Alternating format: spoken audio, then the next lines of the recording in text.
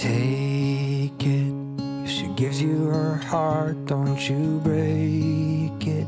Let your arms be a place she feels safe in. She's the best thing that you'll ever have.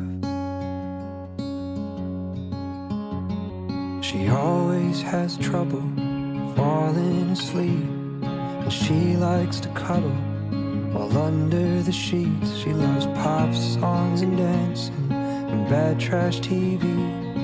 There's still a few other things. She loves love notes and babies and likes giving gifts. Has a hard time accepting a good compliment. And she loves her whole family and all of her friends. So if you're the one she lets in,